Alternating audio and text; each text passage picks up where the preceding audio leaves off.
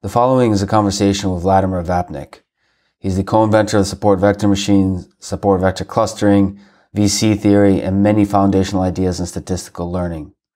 He was born in the Soviet Union and worked at the Institute of Control Sciences in Moscow.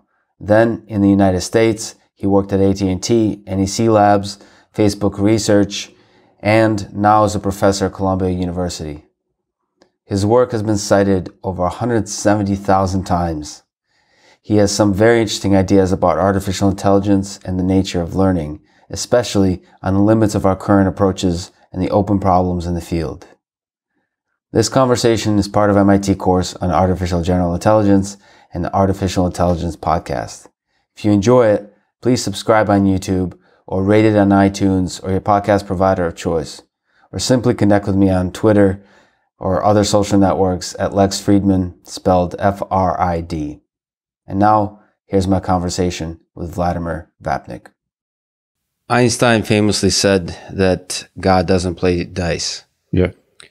You have studied the world through the eyes of statistics. So let me ask you, in terms of the nature of reality, fundamental nature of reality, does God play dice? We don't know some factors. And because we don't know some factors, which could be important, it looks like God play dice, but we don't. We should describe it. In philosophy, they distinguish between two positions: positions of instrumentalism, where you're creating theory for prediction, and position of realism, where you're trying to understand what God did. Can you describe instrumentalism and realism a little bit? For example, if you have some mechanical laws. What is that? Is it law which true always and everywhere? Or it is law which allow you to predict position of moving element? The, what, what you believe. You believe that it is God's law, that God created the world which obey to this physical law, yeah. or it is just law for predictions. And which if, one is instrumentalism? For predictions. if you believe that this is law of God and it's always true everywhere, that means that you're realist. So you're you, trying to, re- to really uh, understood, understand the God thought. So the way you see the world is, is as an instrumentalist? You know, Perhaps, I'm or? working for some models, model of uh, machine learning. So in this model, we can see uh, setting, and we try to solve, resolve the setting, to solve the problem. And you can do in two different ways, from the point of view of instrumentalism and that's what everybody does now, because uh, they say that goal of machine learning is to uh, find the rule for classification. Mm-hmm. That is true, but it is instrument for prediction. But I can say the goal of uh, machine learning is to to learn about conditional probability. So how God played use and he, is he play what is probability for one, what is probability for another given situation. But for prediction, I don't need this. I need the rule. But for understanding, I need conditional probability. So let me just step back a little bit first to talk about. You mentioned, uh, which I read last night, the the parts of the 1960 paper by Eugene uh, Wigner, yeah. uh, unreasonable effectiveness of mathematics and natural sciences. Such a such a beautiful paper. Yeah, by the absolutely. way, it made me feel, to be honest, to confess my own work in the past few years on deep learning, heavily applied, made me feel that I was missing out on some of the beauty of nature in, in the way that math can uncover. So let me just step away from the, the poetry of that for a second. How do you see the role of math in your life? Is it is it a tool? Is it poetry? Where where does it sit? And does math for you have limits? of what it can describe? Some people saying that math is language which use God. So I believe and speak to God or use God or use God. Use God. Yeah. So I believe that this article about effectiveness, unreasonable effectiveness of mass, is that if you're looking at mathematical structures, they know something about reality. And the most scientists from natural science, they're looking on equation and trying to understand reality. So the same in machine learning. If you trying very carefully look on all equations which define conditional probability, you can understand something about reality more than from your fantasy. So math can reveal the simple underlying principles of reality, perhaps. You know what means simple? It is very hard to discover them. But then when you discover them and look at them, you see how beautiful they are. And, and it is surprising why people did not see that before you're looking on equation and derive it from equations. For example, I talked yesterday mm-hmm. about least square method. Mm-hmm. And people had a lot of fantasy how to improve least square method. But if you look going step by step by solving some equations, you suddenly will get some term which, after thinking, you understand that it describes position of observation point. In least square method, we throw out a lot of information. We don't looking on position of point of observations. We're looking only on residuals. Mm-hmm. But when you understood that, that's very simple idea, but which not too simple to understand, and you can derive this just from equations. So some simple algebra, a few steps will take you to something surprising that when Absolutely, you think about, yes. you so understand. You, and that is proof that human intuition not too rich and very primitive, and it does not see very s- simple situations. So uh, let me take a step back. In general, yes, right? Uh, but what about human, as opposed to intuition, ingenuity, um, moments of brilliance? So, uh, are you so? Uh, do you have to be so hard on human intuition? Are there moments of brilliance in human intuition that can leap ahead of math, and then the math will catch up? I don't think so. I think that the, the, best human intuition it is putting in axioms, and then it is technical way how see where the axioms take you. Yeah, but if they correctly take axioms, but it axiom polished during generations of scientists, and this is integral wisdom so that's beautifully put. But if you uh, maybe look at when you when you think of Einstein and uh, special relativity, you know, what is the role of imagination coming first there in the moment of discovery of an idea? So there's obviously a mix of math and out of the box imagination there. That I don't know.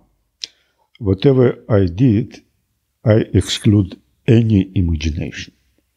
Because whatever I saw in machine learning that come from imagination, like features, mm-hmm. like deep learning, mm-hmm. they are not relevant to the problem.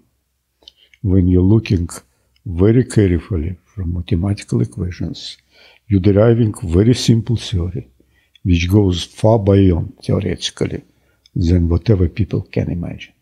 Because it is not good fantasy.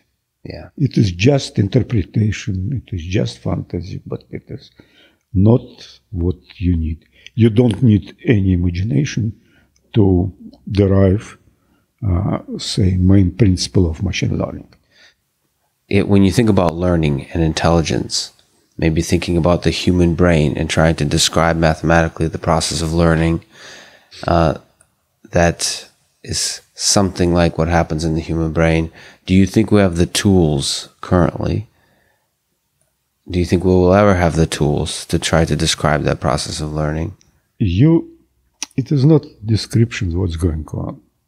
It is interpretation. It is your interpretation. Your vision can be wrong. You know, when guy invent microscope, mm-hmm.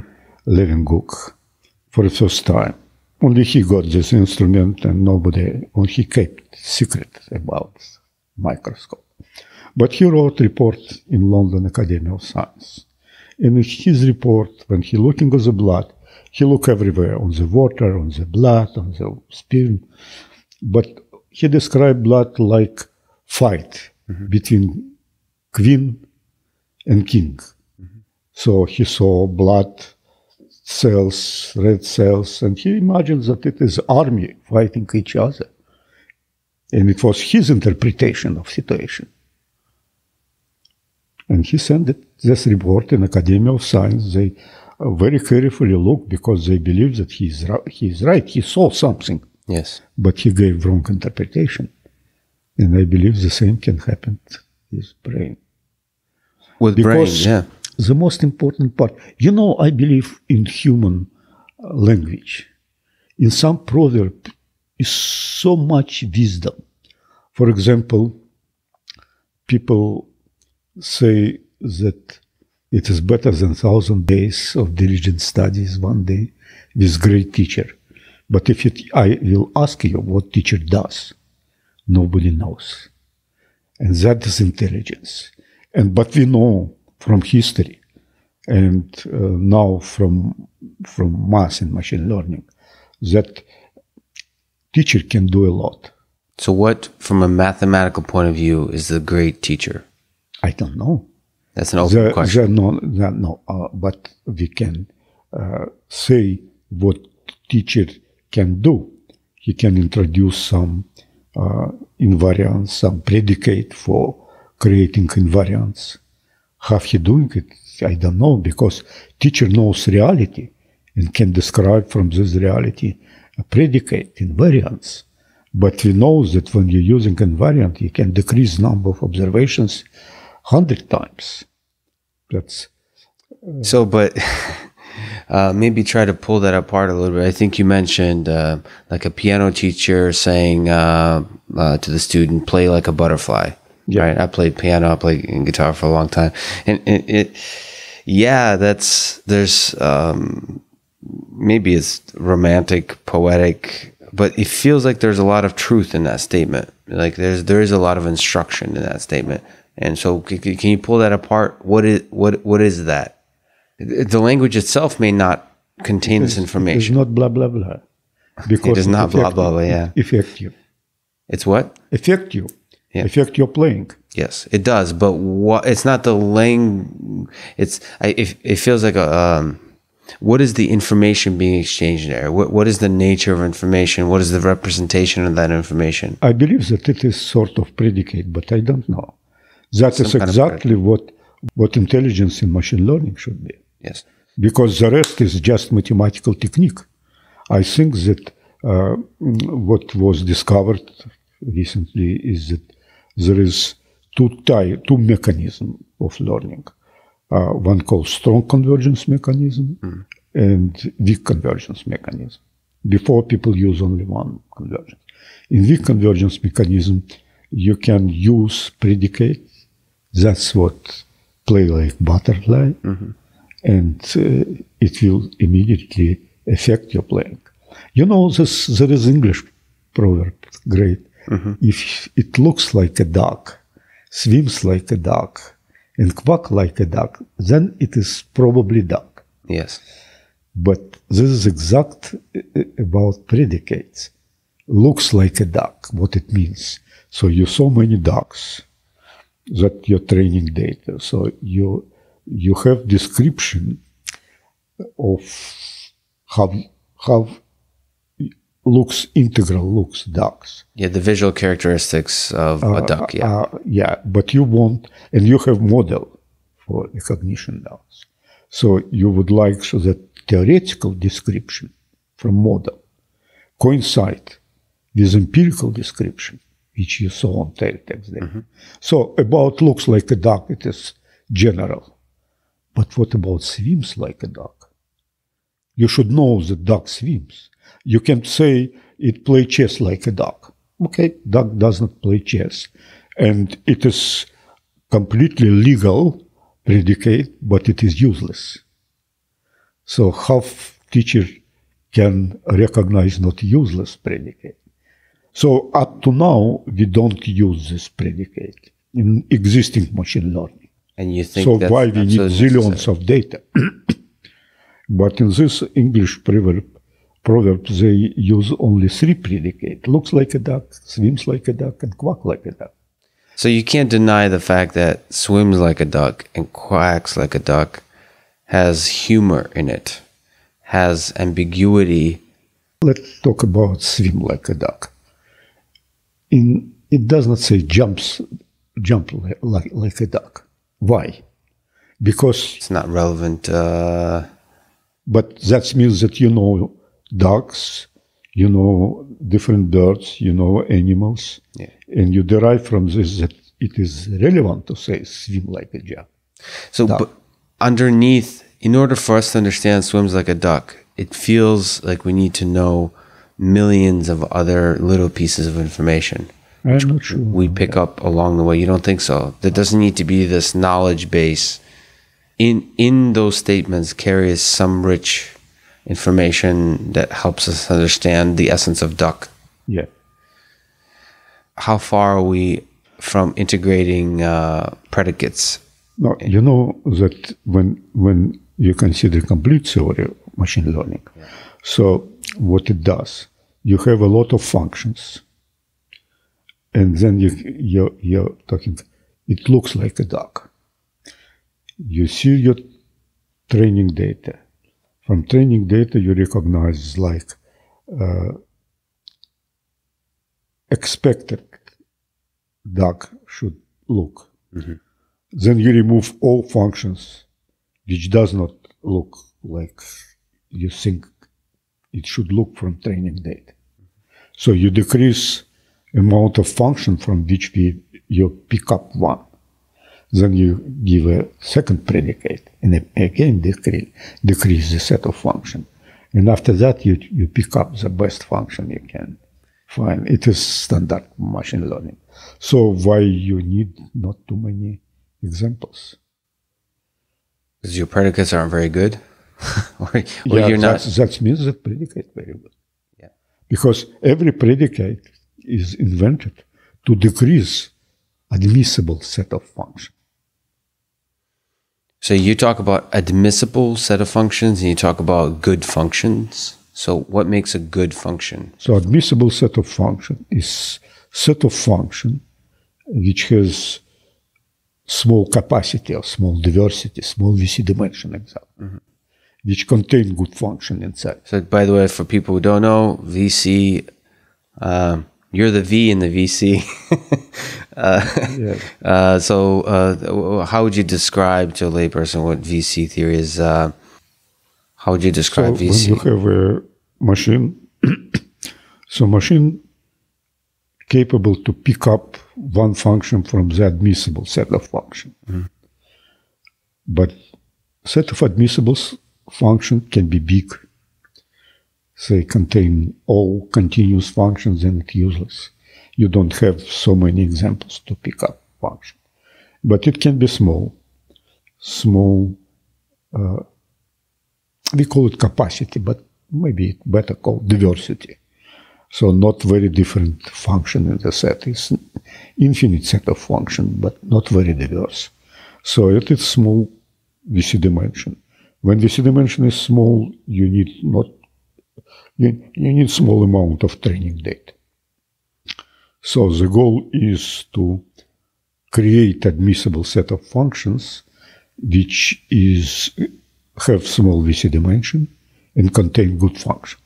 Then you should then you will be able to pick up the function uh, using small amount of observations. So that is the task of uh, learning. Yeah, is creating a set Uh, of admissible functions that has a small VC dimension, and then you figure out a clever way of picking up. No, that good... that is goal of learning, which I formulated yesterday. Yeah, statistical learning theory does not involve in creating admissible set of function. In classical learning theory, everywhere, 100% in textbook, the set of function, admissible set of function is given. Mm-hmm. But this is science about nothing, because the most difficult problem to create admissible set of functions, given, say, a lot of functions, continuum set of functions, create admissible set of functions, that means that it has finite VC dimension, small VC dimension, and contain good function. So this was out of consideration. So, so how, what's the process of doing that? I mean, it's fascinating. What is the process of creating this um, admissible set of functions? That is invariance. That's invariance. Can you yeah. describe invariance? Yeah, you you're looking of properties of training data, and uh, properties means that you uh, have some function, and you you you just count what is value average value of function on training data.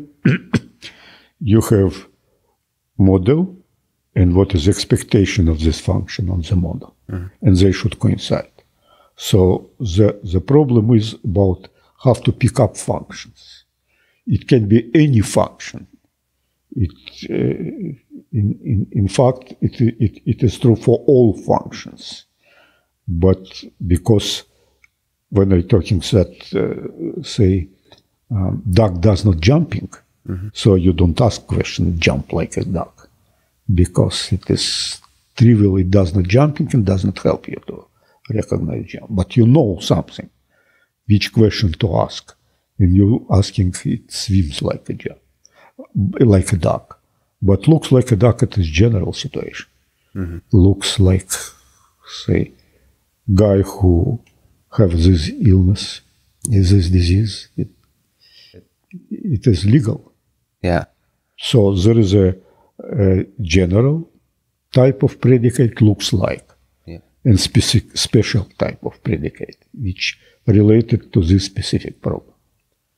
And that is intelligence part of all this business. And that where teachers involved. Incorporating the specialized predicates. Uh, yeah. Okay what do you think about deep learning as as um, neural networks, these arbitrary architectures, as helping accomplish some of the tasks you're thinking about? Their effectiveness or lack thereof. What are what are the weaknesses and what are the possible strengths? You know, I think that this is fantasy. Everything which like deep learning, like features. Let me give you this example. Mm.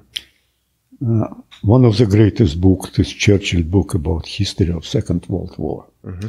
And he's starting this book describing that in all time, when war is over, so the great kings, they gathered together, almost all of them were relatives, and they discussed what should be done, how to create peace.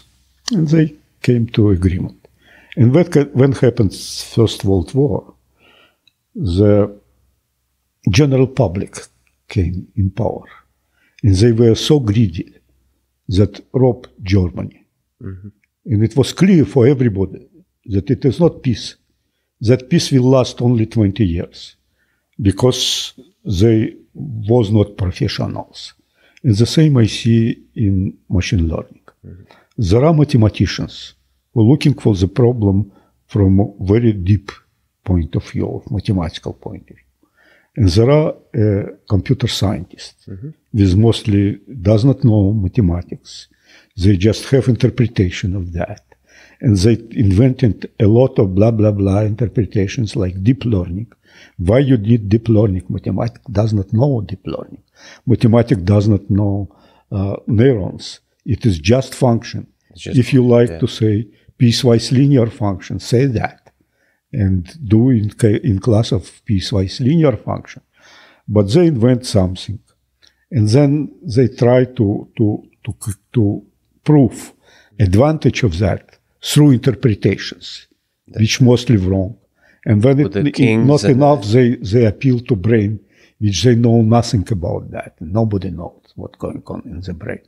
So I think that more reliable, look on mass. This is mathematical problem. Do your best to solve this problem.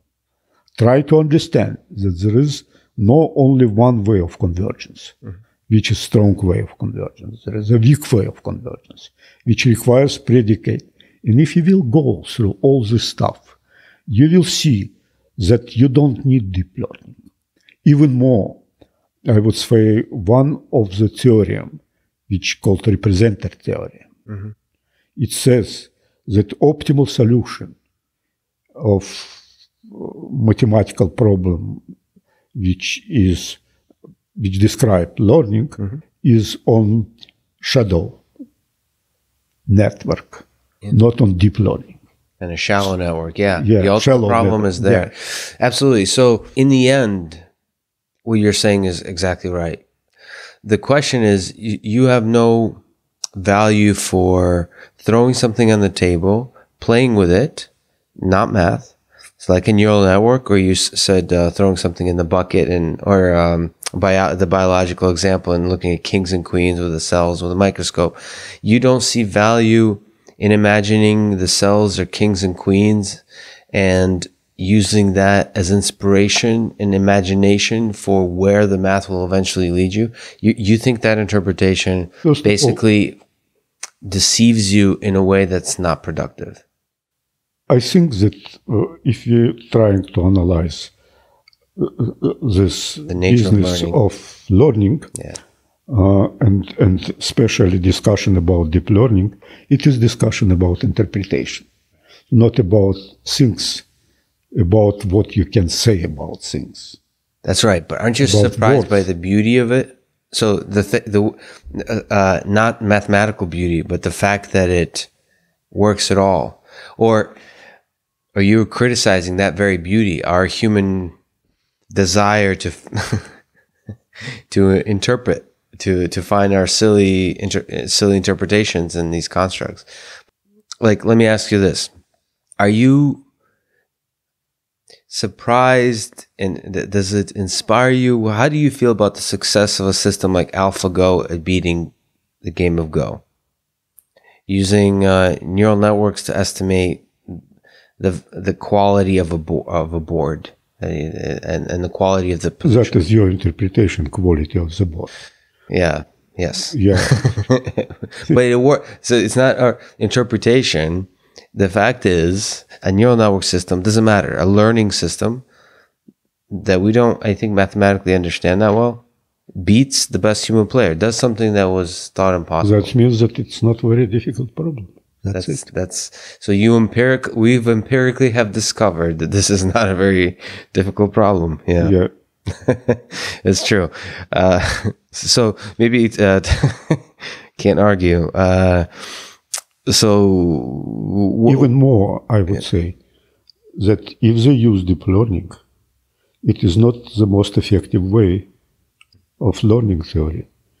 And usually, when people use deep learning, they're using zillions of training data. Yeah, yeah, but you don't need this. So I describe challenge. Can we do some problems which do well deep learning method?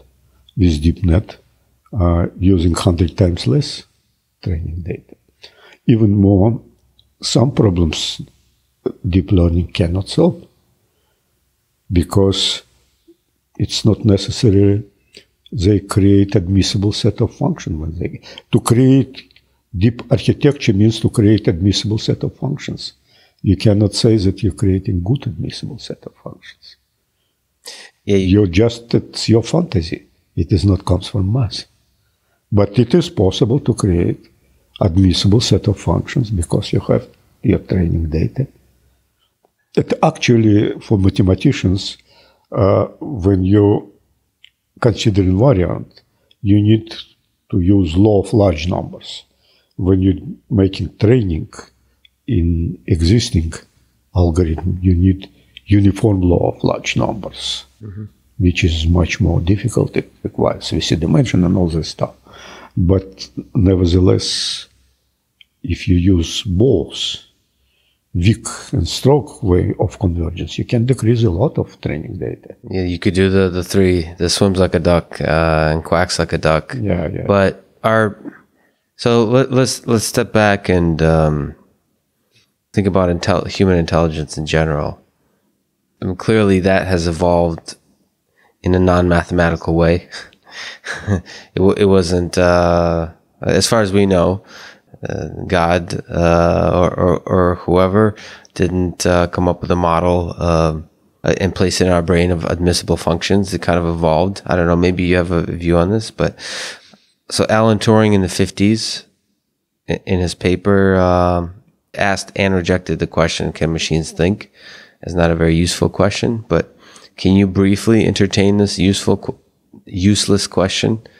Can machines think? So talk about intelligence and your view of it. I don't know that. I know that Turing described imitation.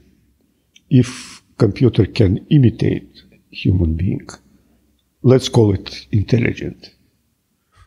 And he understands that it is not thinking computer. Yes. He he completely understands what he doing. Yes. But he set up problem of imitation. So now we understand that the problem not in imitation. I'm not sure that intelligence just inside of us.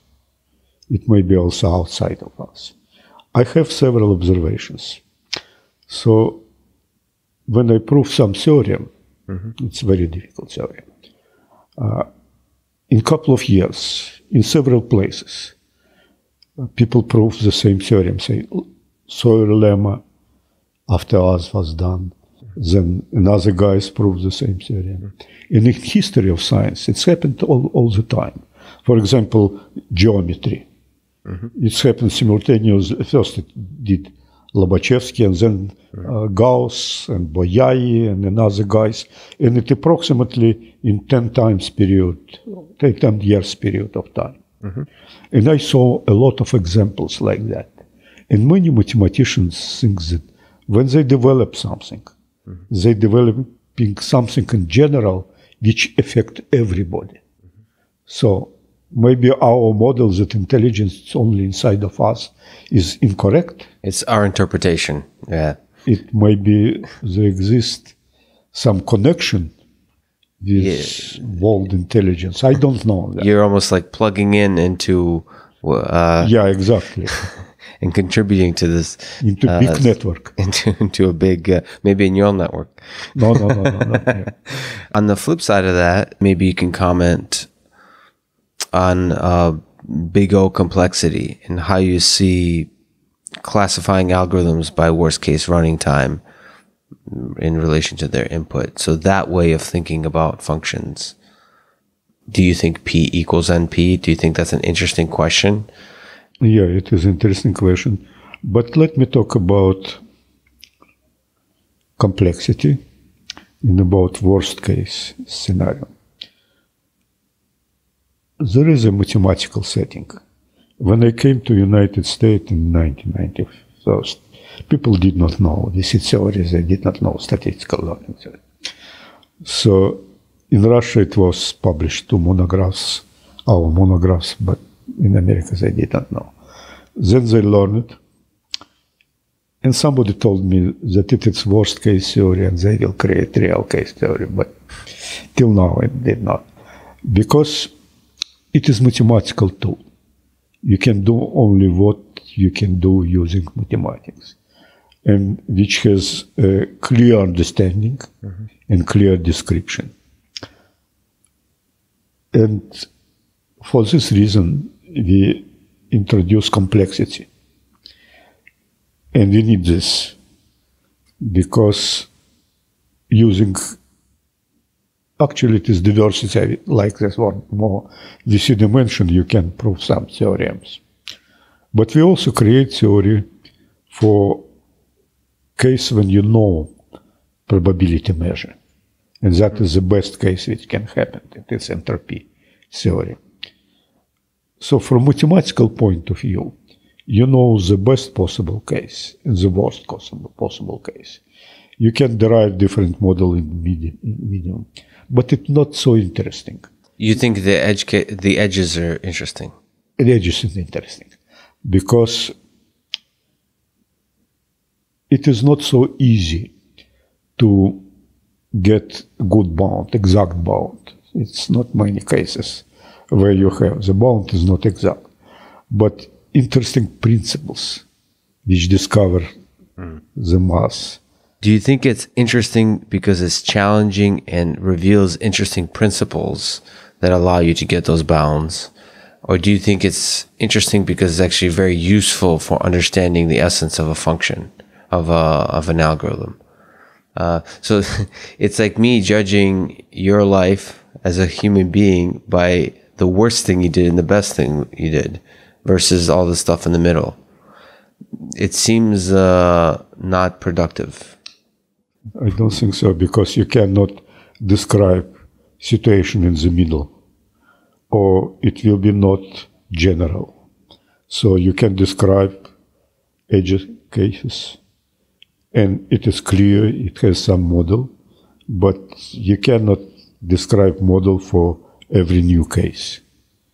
So you will be never accurate when you're using model. But from a statistical point of view, the way you've studied uh, functions and and the nature of learning and the world, don't you think that the real world has a very long tail? That the edge cases are very far away from the mean, the the stuff in the middle, or no? I don't know that. Because I think that, but from my point of view, if you will use formal statistics, mm-hmm. you need uniform law of large numbers. If you will use this invariance business, you will need just law of large numbers you don't, and, and there's this huge difference between uniform law of large numbers and large numbers. Is it useful to describe that a little more, or should we just take it to? No, for example, when when I talking about duck, I gave three predicates, and that was enough. But if you will try to, to do formal distinguish, you will need a lot of observation. I gotcha. Uh, and so that means that information about looks like a duck contain a lot of bit of information, formal bits of information. So we don't know that how much bit of information contain things from artificial from intelligence, mm-hmm. and that is the subject of analysis. Till now, all business I, I don't like how uh, people consider artificial intelligence. They consider as some codes which imitate activity of human being. Mm-hmm. It is not science. It is applications. You would like mm-hmm. to imitate, go ahead. It is very useful and, mm-hmm. and, and, good problem. But you need to, to, to, to learn something more. How people try to do, how people can to develop, say, uh, predicate swims like a duck or play like butterfly or something like that. Then not, not the teacher tells you how it came in his mind, how he chooses image. So that process. That is problem of intelligence. That is the problem of intelligence. And you see that connected to the problem of learning? Absolutely. Are they? Because you immediately give this predicate, like a specific predicate, swims like a dog or quack like a dog. It was chosen somehow. So, what is the line of work, would you say? Uh, if you were to formulate as a set of open problems that will take us there will t- to play like a butterfly will get a system to be able to let's separate two stories one mathematical story that if you have predicate you can do something. And another story how to get predicate. It is intelligence problem and people even did not start understand intelligence. Because to understand intelligence first of all try to understand what doing teachers. How teacher teach. Why one one teacher better than another one yeah. So you you think we really even haven't started on the journey of no. generating the predicates? No, you don't understand. You even don't understand that this problem exists. Because did you? You hear? do. yeah, yeah, No, I, I, I just know name. Yeah. I, I want to understand uh, why one teacher better than another, and how affect teacher student. It well, is not because he repeating the problem which is in textbook. Yes. He makes some remarks. He makes some philosophy of reasoning. You know, that's a beautiful. So, it is a formulation of a question that is the open problem. Why is one teacher better than another? Right. What he does better. Yeah. What what what, what why in at every level? Uh, but people, how, how, do they get better? What does it mean to be better?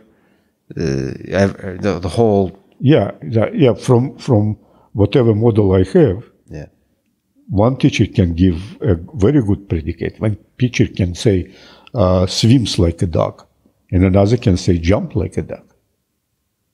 And jump like a dog carries zero information. Yeah. So, what is the most exciting problem in statistical learning you've ever worked on or are working on now? Um, I just finished this invariant story. Mm-hmm. And I'm happy that I believe that it is ultimate learning story. At least I can show that there are no another mechanism, only two mechanisms. But they separate statistical part from intelligent part. And I know nothing about intelligent part. And if we will know this intelligent part, so it will help us a lot in teaching, in, in, in learning. In learning. Yeah. You know we'll know it when we see it? So, for example, in, in my talk, the last slide was the challenge. So you have, say, NIST digit recognition problem. And deep learning claims that they did it uh, very well, say 99.5% of correct answers. But they use 60,000 observations. Yeah. Can you do the same using 100 times less? But incorporating invariants, what it means, you know, digit one, two, three. Yeah. Just looking at that, explain me which invariant I should keep to use 100 examples or say 100 times less examples to do the same job. Yeah, that sl- last slide in, in uh, unfortunately your talk ended uh, quickly, but that last slide was uh, a powerful open challenge and a formulation of yeah. the essence. No, that is exact problem of intelligence because everybody, when, when machine learning started and it was developed by mathematicians, they immediately recognize that we use much more uh, training data than human needed. But now again, we came to the same story. Have to decrease. And that is the problem of learning. It is not like in deep learning they, they use zillions of training data. Because maybe zillions are not enough if you um, have a good uh, invariance.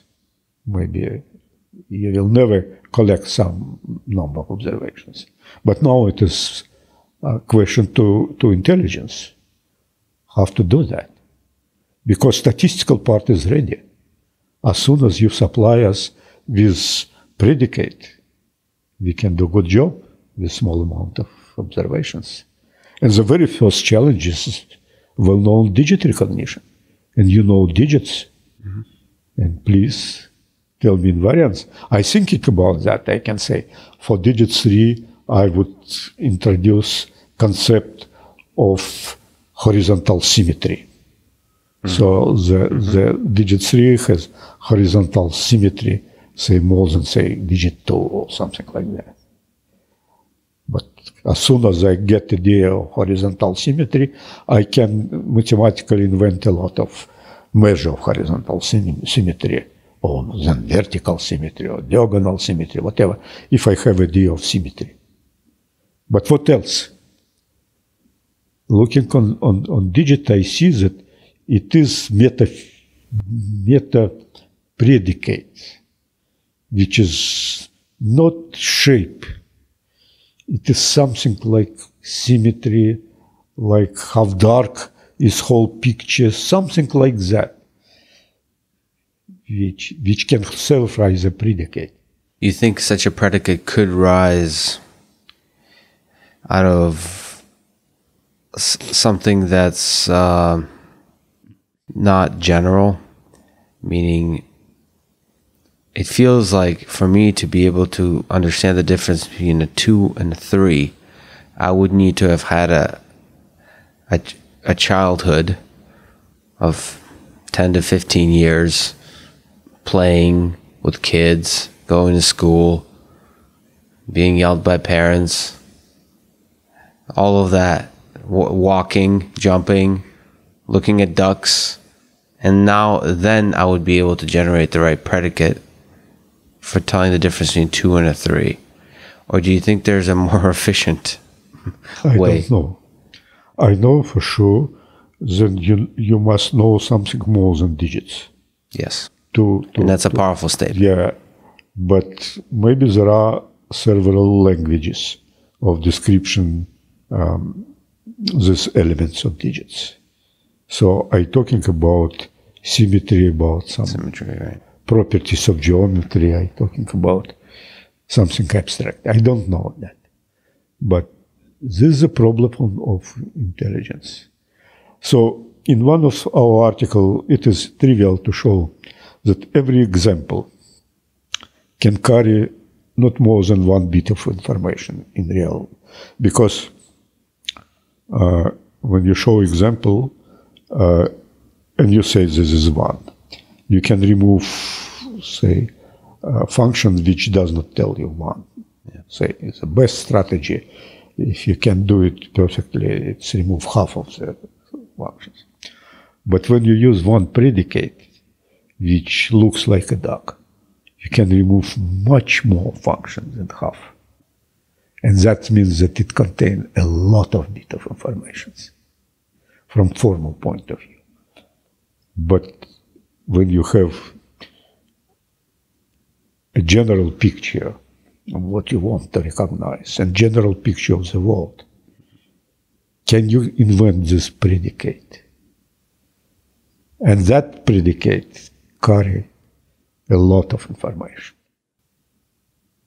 Beautifully put maybe just me, but in all the math you show, in your work, uh, which is some of the most profound mathematical work in, in, in the field of learning AI and just math in general, I hear a lot of poetry and philosophy. You, you really kind of um, talk about philosophy of science. You, there's a there's a poetry and music to a lot of the work you're doing and the way you're thinking about it. So do you where does that come from? Do you do you escape to poetry? Do you escape to music, I or not? That, I think that there exists ground truth. There exists ground truth. Yeah, and that can be seen everywhere. Yeah. The smart guy philosophers. Sometimes I surprise how they deep see. Sometimes I see that some of them are completely out of subject. Mm-hmm but the ground truth I see in music. Music is the ground truth? Yeah. And in poetry, many poets, they, they believe that they take dictation. so what uh, what piece of music as a piece of empirical evidence gave you a sense that they are um, they're touching something in the ground truth? It is structure. The structure of the, ma- yeah, because the when music. you're listening to Bach, yeah, Bach, you yeah. see the structure. Yeah, very clear, very classic, very simple, yeah. and the same in mass when you have uh, axioms in geometry, you have the same feeling. Yeah. and in poetry, sometimes you see the same. Yeah. Um, and if you look back at your childhood, you grew up in Russia, you maybe you were born as a researcher in Russia, you've developed as a researcher in Russia, you've came to the United States and a few places. If you look back, what were what was some of your happiest moments as a researcher? Uh, some of the most profound moments, not in terms of their impact on society, but in terms of their impact on how damn good you feel that day and you remember that moment. You know, every time when you found something, it is great moment in the life. Every simple things. Just but my general feeling that I most most of my time was wrong you should go again and again and again and, and try to be honest in front of yourself. Not to make interpretation, but try to, to understand that it related to ground truth. Mm-hmm. It is not my blah blah blah interpretation and something like that. But you're allowed to get excited at the at the possibility of discovery. Oh yeah. You'll double. You have to double check it, but uh, no, but how it related to the other ground truth? Is it just temporary or it is for forever?